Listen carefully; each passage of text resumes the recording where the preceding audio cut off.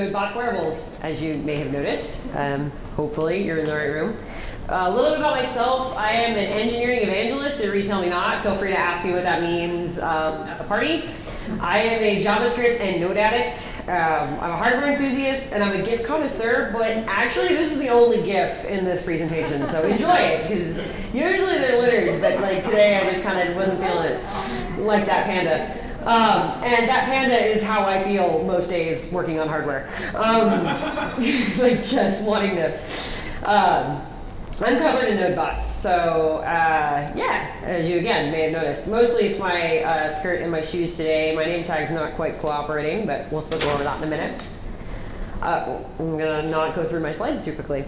So I'm gonna go over three main points today in this talk. One of them is the wearable JS platforms that I use and uh, the pros and cons of each.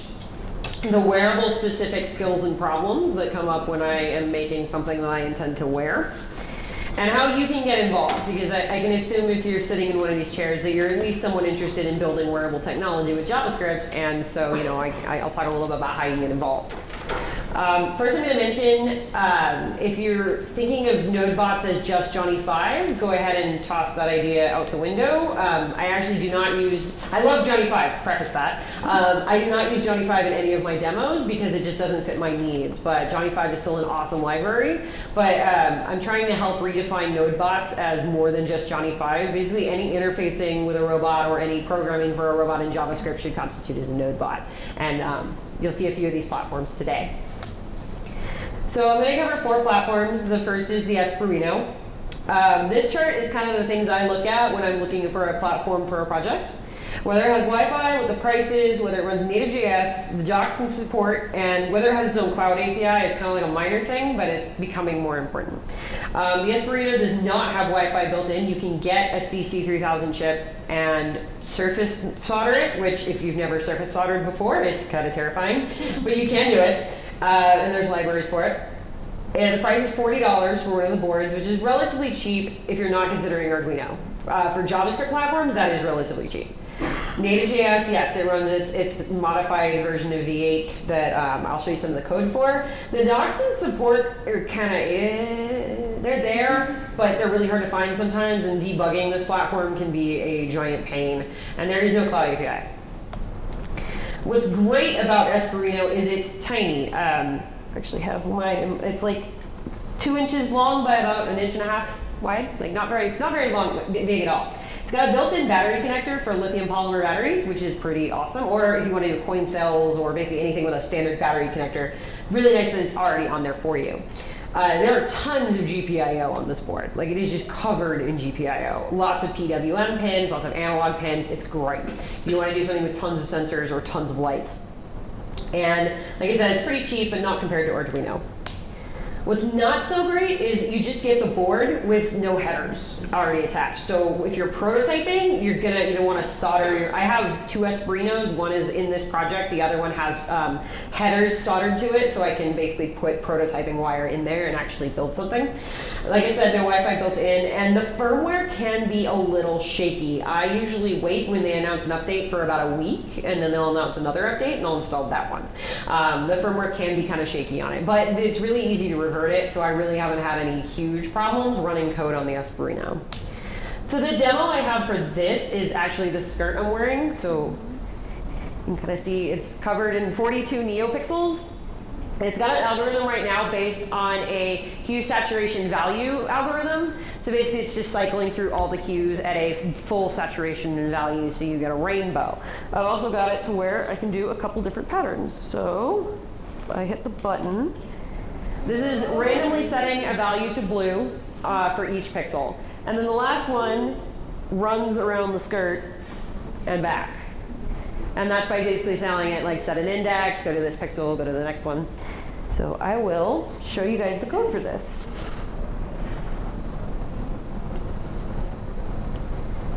All right.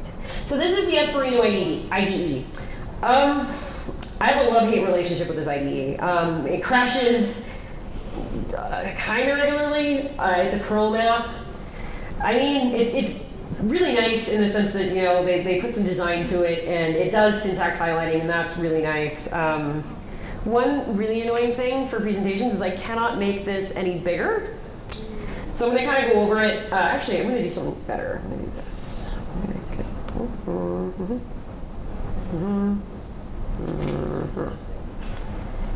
Plain text. Okay. So basically, um, I'm telling it I want to set up an SPI clock, and that's to, to tell the NeoPixel how it communicates with the NeoPixels. Um, Consider each NeoPixel three shift registers because it takes three bytes. One byte for red, one byte for green, one byte for blue, and then it passes the data on to the next pixel. So this tells it how fast I need it to communicate and what pin uh, I'm communicating on, which is B15. There are A through C, and I think they all have 15 pins. So like I said, tons of GPIO on the Espruino. Uh, I'm then creating a typed array of, of integers and 42 times 3, the number of lights times 3, because I need 3 bytes per light. Um, these are variables used in the algorithm that runs the light around the skirt. And then patterns is an array, and when I push the button, it cycles to the next pattern, which is why I went from rainbow to flashing blue to chasing blue. Um, this first pattern is the rainbow. So the color is determined by an HSV to RGB algorithm of I. So like I said, I'm cycling through each hue. And um, yeah, I'm using this, which I got off Stack Overflow, honestly. Um, HSV to RGB is a interesting conversion. The second pattern, like I said, it's just assigning a random value to blue for each pixel, and that's why it kind of looks like it's flickering. And then this last one, I am, um, actually, that should just not be there. Um, so, basically I'm saying if the index that I'm at is the position that I need to be at, like the, the pixel that I'm trying to light up, light it up uh, to 255, otherwise set it to zero. That way it makes all the lights turn off except the one that I'm trying to address. As you can see, this is all very typical JavaScript. This is, I mean, the most, the most advanced part of this is dealing with a typed array. Um, so this is, this is JavaScript that basically just about everybody can write um, very easily. And that's one of the reasons I like the Espruino is it's very, it's not very modified JavaScript, and it's not even Node. You don't even need to know how Node works to use an Espruino. If you know client-side JavaScript, you can use this microcontroller. So now we're going to go to back to the slides. So the next platform I'm going to talk about is the Pinoccio. So the Pinoccio is the most advanced platform in some ways that I'm going to talk about, and it's also the most expensive. Um, so Pinoccio is meant to build troops. It is a mesh networking robot. So when you build, when you buy a starter kit, you get a lead scout and a scout. What makes a lead scout is it's just a regular scout with a Wi-Fi backpack. So your troop communicates via the lead scout to like via Wi-Fi, and then the lead scout communicates to the rest via a low power radio signal. So um, yeah, you can build distributed systems pretty well with Pinoccio. The starter kit is $200, and again, that gives you a lead scout and a scout, and that is really pricey. Um, it does not run native JS without Johnny 5. There is a Johnny 5 wrapper. Um, again, with Johnny 5, I need to remain tethered to a computer, so I didn't do that. I used JavaScript in terms of working with their cloud API and working with custom written functions that I'll show you in a minute. And the docs and support are pretty good. Uh, Ryan Day on Twitter is like super responsive anytime you might have a problem, or they're really responsive on their GitHub as well. So um, definitely a good crew there. And uh, yeah, they do have a cloud API. So like, like I said, mesh robots, that's kind of what's great about Pinoccio. They are the, the only platform I know of that's even remotely close to working with JavaScript that has mesh networking built in. You don't have to worry about it. It's super simple to communicate with your troop. Uh, the Cloud API allows custom functions, so I can use a JavaScript API to run an Arduino function on my Pinoccio.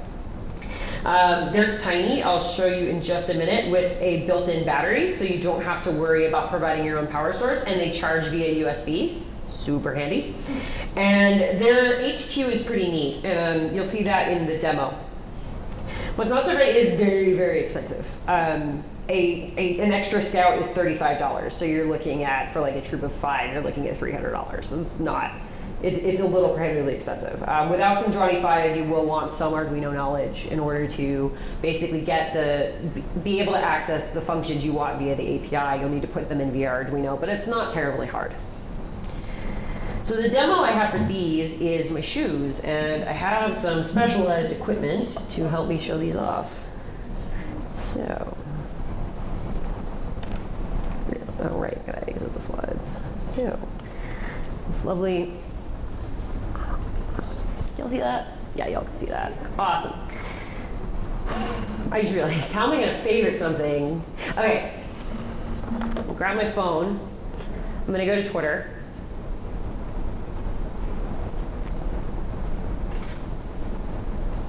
Actually, Chris is gonna favorite one of my tweets, and for some reason my shoes aren't gonna kick in. Oh, come on.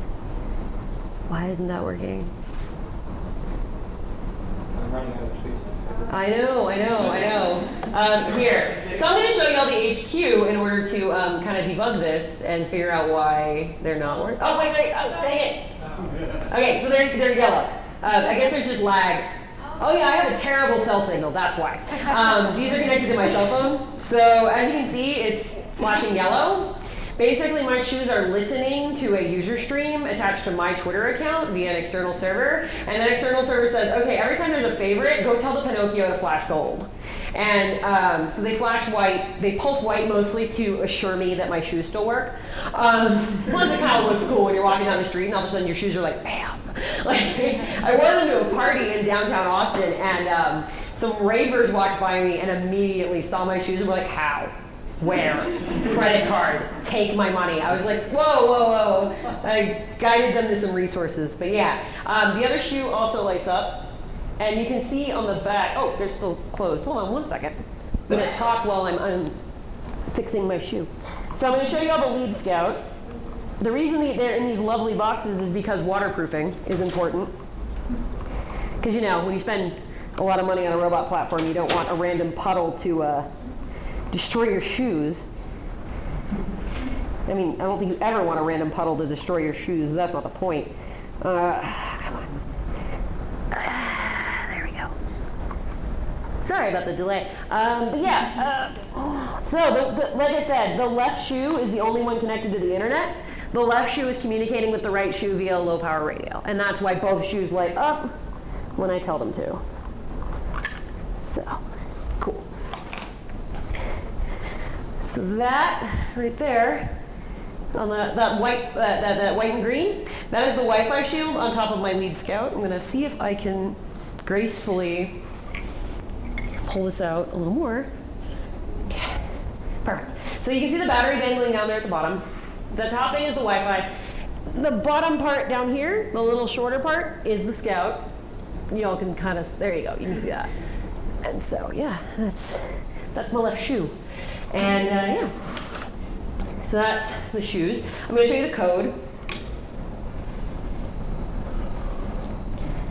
All right, so first, actually, I'm going to show you the HQ because um, you can do some really nifty stuff with HQ, and actually, that reminds me, just put that back down. so, when I said you can create custom, they're called Scout script functions. Um, I created one to change the pulse color of the shoe when it's not showing a favorite. And I call it pixels.change. So I'm going to tell Lefty, pixels not pixels.change 255.0.0. So this should be red. Yeah, no, Lefty did not check in two minutes ago. Lefty checked in like 30 seconds ago now. Anyway. It'll get a response. Oh, there it goes. It's, is it red yet? No, still white. I'm going to run that again. Oh, it's red? Awesome. Sweet. Okay, so then I'm going to tell Righty pixels.change. Would help if I could spell. Yep. I'm going to change it to purple. So 50, 0, 150.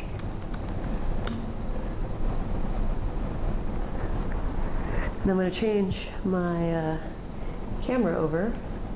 So while we're waiting for Lefty to change, I've updated the colors Come on, be purple. Yes! All right. I've updated the colors via the Wi-Fi. Woo! And it's still, if you favorite stuff, it will still turn gold. Um, but yeah, um, so that's Pinoccio HQ. Um, you can add troops via, it's, it's, it's on their website. It's really nifty. I really have enjoyed it. It also shows the battery state of the shoe. So that green box in the upper right corner shows that uh, righty is at 43% and lefty is at 49%, so I will need to charge my shoes before the party. There's also a built-in temperature sensor. Uh, 90 degrees, basically, uh, it's a little bit because electronics cause heat and they allow off a little bit of heat. So that temperature sensor, especially on the lead scout, is underneath the Wi-Fi shield, so it can get it can get a little warm in there, and so it'll read a little uh, hotter than the actual room temperature. Righty would probably be a little more accurate, closer, closer to accurate. Um, it's funny, people are favoriting stuff from showing up. Um, so, uh, my, I need to turn my watch off so I can stop staring at that. Anyway, uh, like I said, you can run fu functions from here. You can also control the pins, which I really like. That I don't have to write code to figure out what's going to happen when I turn this pin on. I can just say, uh, I want D2 to be an input, and I, or, and I want it to be analog or digital, or I want it to be an output, and I want to set it to this. It gives you some really great hardware debugging tools in the HQ to work with. So it's a very polished, very well put together platform. The only problem I've had with it so far is HQ does not really work correctly for me unless I'm in Chrome Canary. Uh, when I'm in regular Chrome, and they're working through that right now, but when I'm in Chrome Canary, it works fine. So I'm going to show you uh, the server code first. And haha, I did hide my Twitter keys, so don't even try it. Um, so what I've got is I need a, I need a troop ID, I need the scout ID for my left shoe, and I hmm? shift Apple plus plus. Oh no, that wait, oh I can do this. Ha ha. All right, so um, troop ID, lefty ID, righty ID. Uh, I'm telling Pinoccio API I want all I want my troops, and if there's an error, let me know. Otherwise, I want the shoes to be my first troop. I only have one, so I can kind of assume that the first troop is my shoes, but you know, you, might write it differently if you have multiple troops. Um, I then say I want the, the scouts from that troop. Oh, doing good on time. Um, lefty and righty are then zero and one, mostly because I know lefty is lead scout, so it will always be the first scout reported, and there's only two scouts in the troop. I then tell Twitter I want my user string, pardon me, and that I want um, on favorite. I want a console.log because I forgot to delete my debugging statements. Uh, then I want the Pinoccio API to run the scout command pixels.flash 255 255 0, which gives it a, a goldenrod yellow.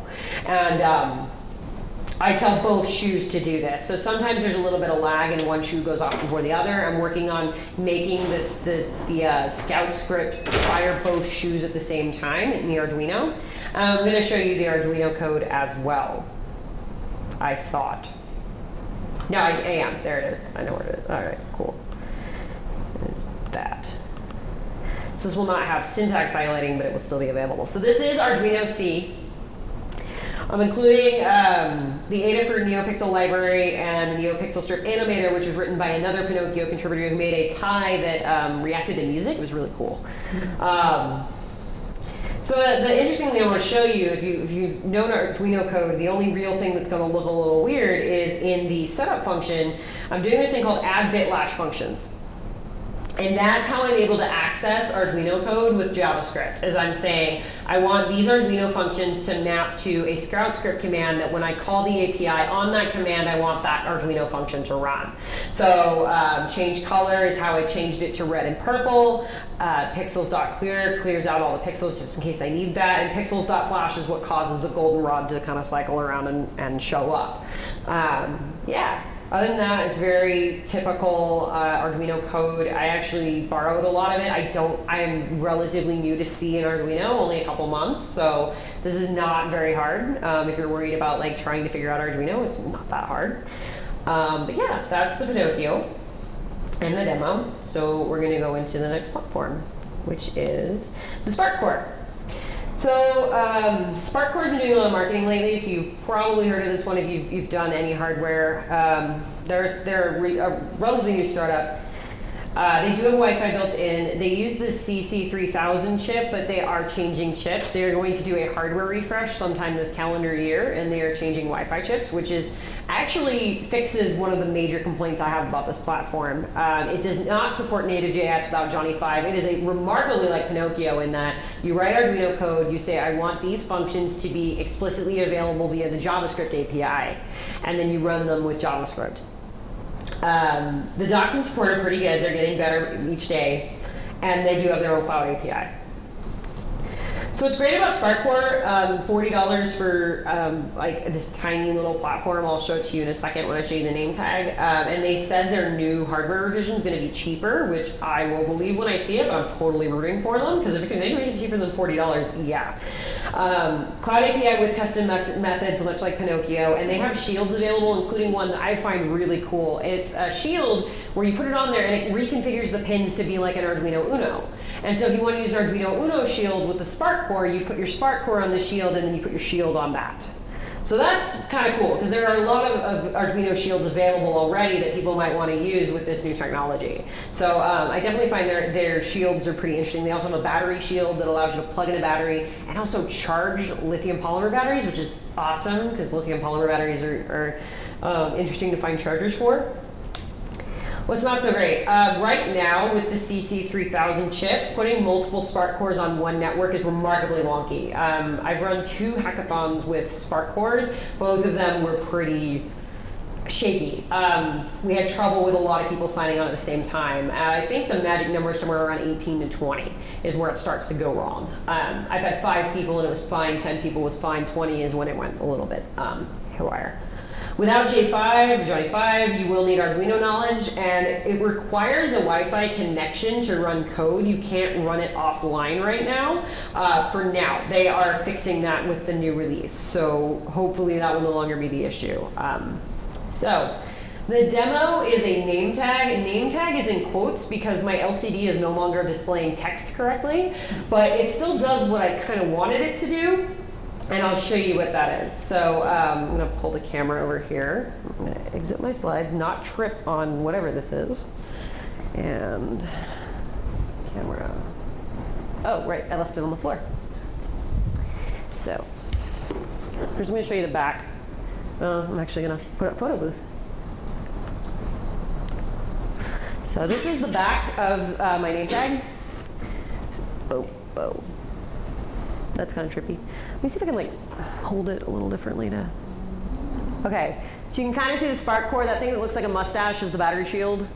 Um, I don't like the mustache. Those things are sharp, and I've actually cut my finger on that. Um, I'm gonna complain to them. Um, so that cyan light means that it is connected to the internet. On the front, it's just a RGB backlit um, LCD, and I'll show you what I mean by it's a little bit wonky. So that's what I got when I got out of the airport today or yesterday, which was so awesome. So I'm just going to turn that down. So it's setting it blue right now. Now, what I'm to do is I have a node server running. And that node server connects to the Spark Core API. So actually, I don't even need to go there. Um, I'm going to go to here. So I've got this little website, and hopefully, oh wait, does the website still not work? No, I did not fix that. So I'm going to curl it instead, because I have a backup plan. so, so I'm going to curl my local host. I'm going to make that a lot bigger first. So I'm going to curl my local host, and I'm going to say uh, I want the, the, the, page set color, and I want red to be 255 and green to be 255 and B to be 0. Right. Awesome. Oh, node index. What up with my server was, no, it was running, wasn't it? Mm -hmm. No, I guess it wasn't. Yeah. That would be why. Ah, I see where I'm at now. All right. Got my tabs mixed up. So that's where I'm supposed to be running my server. This is where it's supposed to be curling.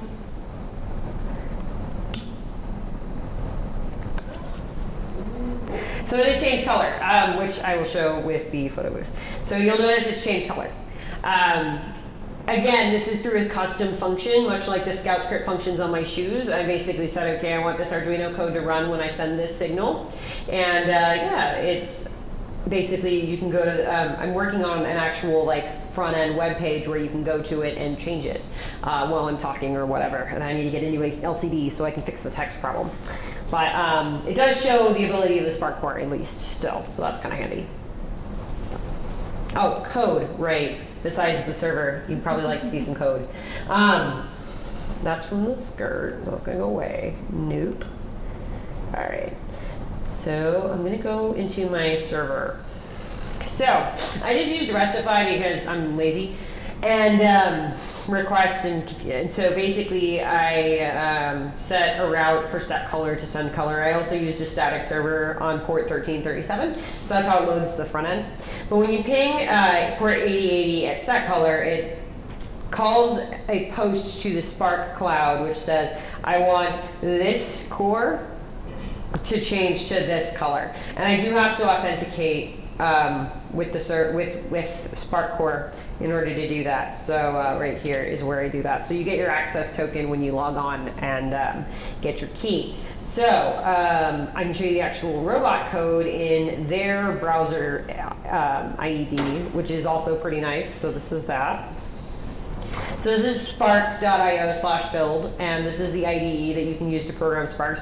What I find really cool that I haven't been able to replicate with Pinoccio is if I hit that lightning bolt, it will flash the firmware onto the Spark core via Wi-Fi. And you can do that from an API as well. You can say, I want you to take this binary and I want you to flash all of these Spark cores with it online. So you don't need to physically be with the Spark core in order to change its firmware, which I find pretty freaking cool. Um, so I'm telling you to set up the LCD here, which is um, another library. Um, if you're uncomfortable using Arduino with a lot of uh, sensors or backpacks or things like the LCD, Adafruit is your best friend. They've written libraries for nearly everything on the planet that are Arduino compatible, and it takes only a little bit of modification to change them to have custom Scout script or Spark script functions. So again, if you're worried about using any Arduino, um, it's much easier than it looks because I can do it. Um, so again, this is the, the function that I've got that I'm exposing to allow it to change color. It just says take in red, green, blue. Um, uh, yeah, um, funny story. Uh, it it sends all of the arguments that you send a Spark function as one string. So I had to tell it, okay, find the commas and split them out. So that was fun uh, in C, and reminded me why I really love higher level languages. And um, so, that's the color. Um, the rest does the actual text moving. So I, I, used to have my name, title, where I worked, uh, my Twitter handle, and the color it was currently lit up as. So it would cycle through those five lines, and it's a four-line LCD. So uh, that's the rest of that code. And then as for my little, oh yeah, it shows you my server. So yeah, that's the code for the Spark core. Again, mostly JavaScript with a little bit of C that I actually borrowed and cobbled together from a bunch of libraries that were already written. So. The last platform I'm going to go into is the Tessel. This is the other native JavaScript platform that uh, I have today. Um, it does have Wi-Fi. The price is $100. I put an asterisk there because it, it's, they use their own modules, and those modules are more expensive than the modules you would pre you would buy for like an Arduino. But there's a reason um, that I use this platform, and I'll go into it in a little bit. Um, it does use native JS. It actually uses Node. So you write typical Node programs in order to control a Tessel, which a lot of people are very comfortable with, which is nice. Uh, the docs and support are also pretty good. Technical Machine is pretty good about responding to things quickly. Uh, they do not have a Cloud API yet. They have a GitHub repo called Cloud API, so I get the feeling they might have a Cloud API in the future. It's just not there yet. Uh, what I like about Tessel is there is a lot of functionality available in the Tessel that is not ready yet on other JavaScript platforms. Things like the camera, things like um, the GPS, things like the three, the 2G, 3G. Um, you can insert a SIM and use the card with it. Like, uh, yeah, it's it's got a lot of functionality that we do not currently have with Johnny Five or with other platforms. It's well built and it's fairly easy to set up. Um, I've noticed even adding a battery to it with soldering two headers. Um, so yeah. What's not so great is, again, it is very, it, it's not as expensive as Pinoccio, but it is pretty expensive at $100 for the board and one module. And that asterisk is, again, if you want to purchase more modules, they're 25 to $35 a piece. So that can add up really quickly. Um, you cannot use their modules on other platforms yet. No one's figured out how. Um, they're supposedly open source, so I, I, guess someone could figure it out, but um, not going to be me. And uh, debugging the Tessel is a pain because often the errors stacks are, it uses a Lua-based interpreter. And so I often find um, error stacks with a bunch of Lua.js and like Lua interpreter things, and it's really hard to debug that code sometimes. Um, so the demo I have, I swear this has been the most finicky demo all day, so hopefully this will work, is I'm gonna take my Tessel and I'm gonna plug in the battery, and it's got a climate module on it. All right, so it's trying to connect to the internet. I should probably like put this on the camera, shouldn't I? My shoe is Of course it didn't connect to the internet because you know that would be help helpful. So as you can see, um, it's trying. It's thinking about it. I have a crazy. Oh, hey, look, it worked. Okay, so that yellow light means that it's connected. So now it's booting up the climate module, and hopefully, when I hit this button, it is going to read the climate, the temperature, and the humidity off this module and it's going to tweet it to my account. Uh, some of you may, if you follow me on Twitter, may have seen live from the speaker room at Thunder Plains. That was from this. I was testing it. Um, so I'm going to do is I'm going to very carefully walk over here and go to my Twitter page. The the battery connectors on this thing, I didn't solder them correctly, so if I move it too much, it'll like reset. So that's why I'm being all careful. I'm going to go to my Twitter account. Wow, 32 notifications, guys. Wow. Um, okay, that's the most I've ever seen in one sitting. Um, hey, no, it hasn't tweeted yet. I'm gonna try hitting the button again. Give it a couple seconds. It tends to take a little bit to actually read the climate and um, tweet. So I'm gonna give it some time. But it is connected to the internet. So uh, I'm gonna let that run and hold it very steadily. Well, I go over my next couple slides and then we'll see if it tweeted later in the presentation. Can I get a helper? I need two hands. Someone can just hold this. You can sit down in your seat, but just like hold that so the battery's just like hanging. Got it. Awesome. Thank you. All right. So what's in a wearables toolkit? Um, I, I think I have, what did I do? There we go. Uh, so this is the toolkit I carry around when I'm wearing the skirt to a conference or to work or whatever. Um, of course. Really? Come on, skirt. Work. Oh, I know what it is. I'm sitting on the reset button again. There we go. Anyway, if you hold the reset button for too long, the Espruino was like, I, I, don't know what to do, I'm just gonna bail. And so, so that's what it did. Um, so, camera. I'm to go over what I carry with me that's specific to wearables. Um, so as for skills, soldering is important. Uh, I hate it, but it's important. Um, and basically being able to read a, either a Fritzing graph or slowly learning how to read like the archaic you know, line drawings that engineers come up with, like, man, those are weird. But uh, Fritzing diagrams are awesome and they're far more like widely available. But uh, so this is my kit, which trying to navigate a camera is like really um, trippy. So I'm gonna set this down and just like show everything. So wire strippers, because there's wire um, all through here, all through there, all through everything. Uh, pliers and wire cutters for the same reason. I usually carry spare lithium polymer batteries. It's a small one, but um, I usually carry a few. Foam tape. Um, I, I actually am probably gonna get rid of the foam tape because it tends to like really, really stick. And granted, that's something I kind of want sometimes, but like I don't want it permanent.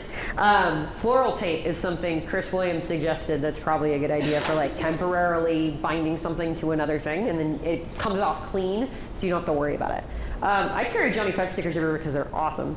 Um, so this, in particular, is one of the best things to be invented ever, ever, ever when dealing with conductive thread or wire that is not solid core. And this is wire glue. It's conductive glue. It's kind of watery, so I use a, a paintbrush and I just like take a dollop. And there is like every connection between wire and conductive thread in my skirt has a dollop of wire glue on it best thing ever. And it's like three bucks at Radio Shack. Are you kidding?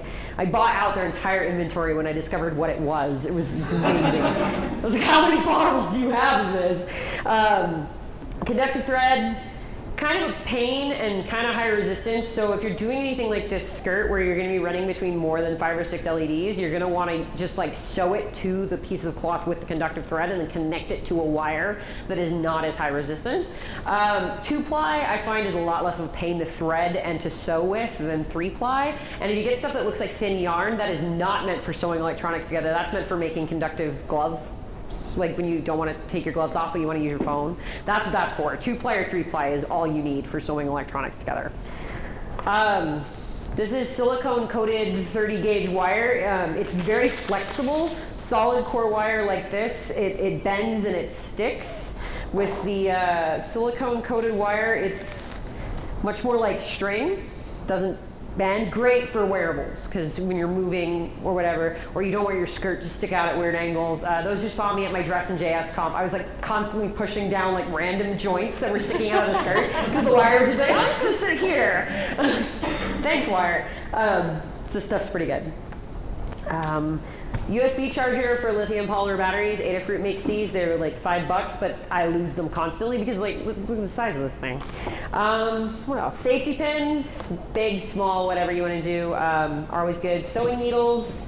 Yeah, that's pretty much my, my kit that doesn't that is wearable specific. Um, the the wire tools obviously go in my regular robotics kit as well.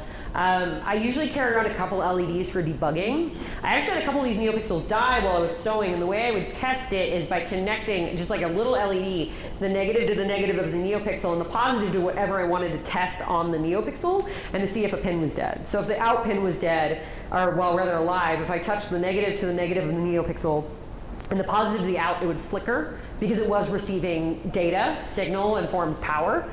But if it wouldn't, it wasn't flickering, then the out pin was broken, and that actually happened on two of my pixels, and that's how I found out. Was I took an LED, and it's like basically a cheap voltmeter. It's like saying, okay, is there power here? Um, yeah. So.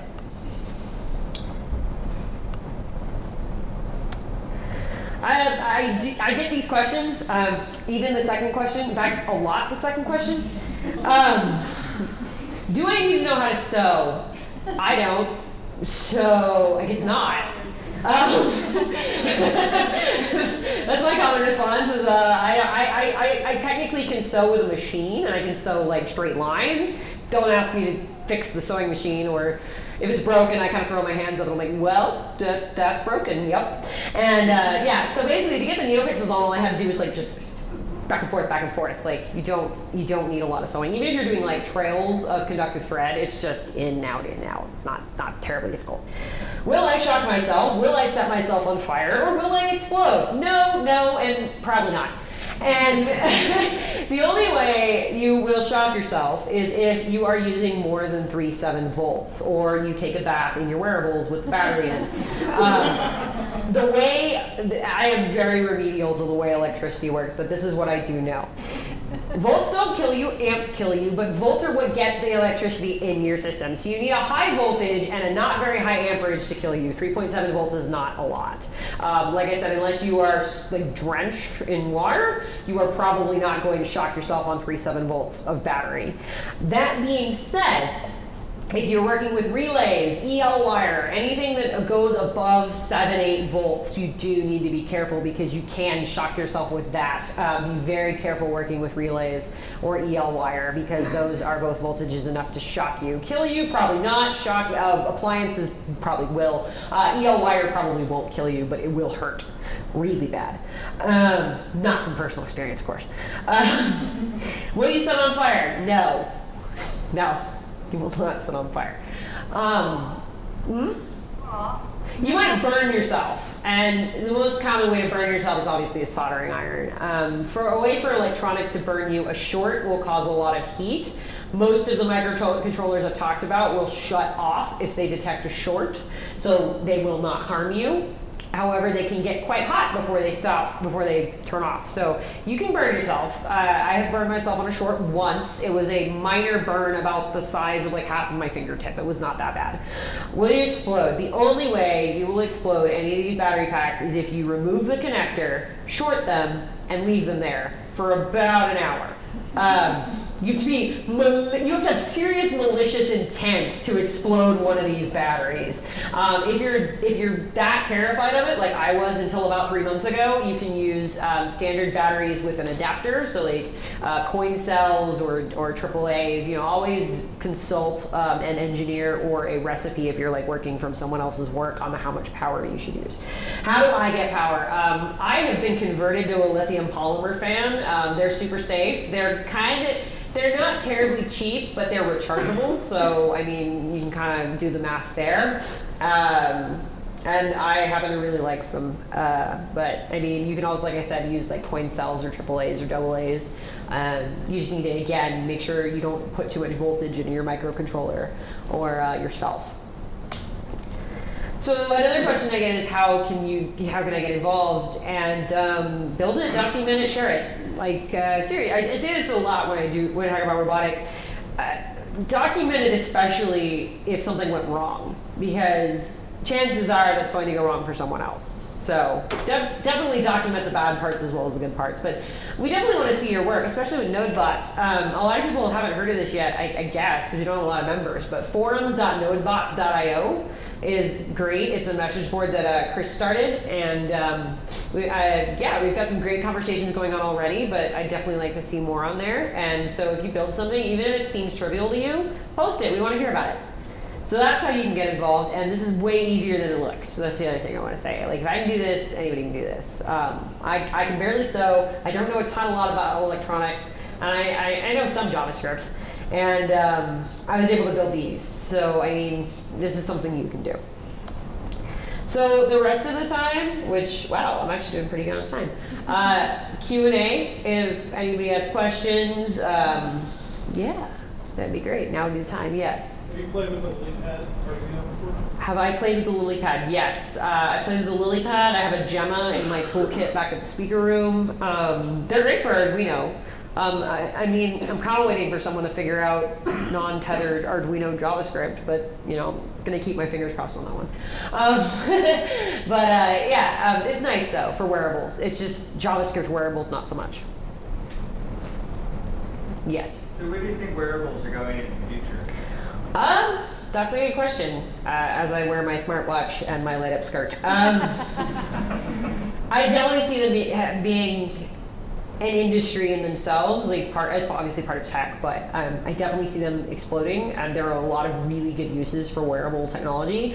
Not all are nasty surveillance NSA type applications. Um, the Ringly I've seen recently is really cool. It's a, it's a woman's fashion ring that vibrates when you get uh, phone calls or, or uh, notifications, and it has like a little light that changes color. And it looks really nice. Like, it doesn't look like this, where it's like this, you know, it's something you can wear with a nice outfit, not like, you know, a Pebble or an LG watch where you can only wear it with uh, certain clothing.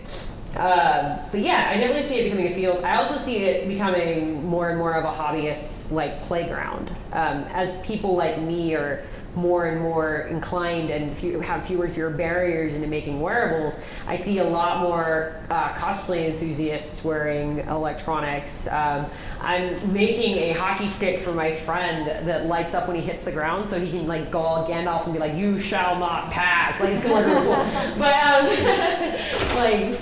And what's cool is I'm teaching him how to code building it. So I'm using an Espruino and I'm teaching him JavaScript and and he's been coding for all two days and he's like, I can do this. I'm like, yes, you can. so, yeah, um, definitely, definitely see it being a thing. I'm, I'm kind of curious about why wearables other than as a hobby, but you kind of touched on that a little bit. Yeah, I, I, I can elaborate a little more on that. Um, there's a lot of safety features that wearables can kind of interact with that uh, regular technology can't. Uh, one interesting thing is like uh, TrackR from Bravo. Um, they have the little coin-sized Bluetooth beacon, and uh, the, the way that they collect data is pretty ingenious. Anytime you walk across or near any TrackR beacon, even if it's not yours, it logs the GPS position of that beacon. That way, if you lose something, you can get the GPS coordinates of that item. Uh, it's good for pets, good for laptops, bikes. It's, it's actually um, apparently restored a lot of bikes to their owners in San Francisco because they just, you know, put one, since they're small they're hard to spot. Um, in a front wheel? Probably. I The new one can if the old one can. The new one's like the size of a quarter. It's it's I remarkably just had my front tire so I'm thinking about yeah, um, but yeah, it, other than a hobby, there are a lot of things that we can do with wearables that, you know, and, and also from an education standpoint, um, kids love showing off their work. And if you get them to build a robot that kind of like sits on a desk and that's that's cool, and they'll think that's awesome. But if you give them a robot like they can wear, like I'm really impressed with Sara Chipps's Julie bots that she's made where it's these 3D printed bracelets with neopixels in them that shows girls how to program their jewelry. And from an education standpoint, that's amazing because these these these and, and not just girls, these people can like these children can program their jewelry and run around and be like, look, I did this. And so from an education standpoint, I definitely see it as a as a really good way to get children involved in STEM. Yes. So for someone who doesn't, hasn't ever done any of this, like first, first steps, you mentioned Adafruit, would that probably be like the best place to start learning? Yes.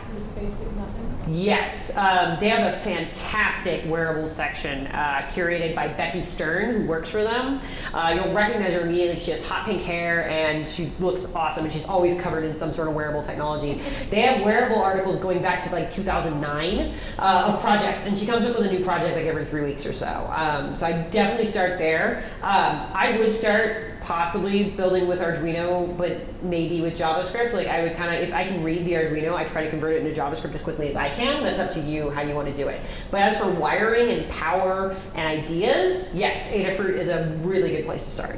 And they actually carry the Espruino now, which is, and they carry Spark Cores too. Yeah, they carry both of those. So that's pretty cool. Yes. Uh, have you considered commercial applications? Yeah. Um, yeah. I mean, uh, like the the stuff I wear, not really. Like my skirt, I don't see that being like commercial. Um, mostly because I'm lazy.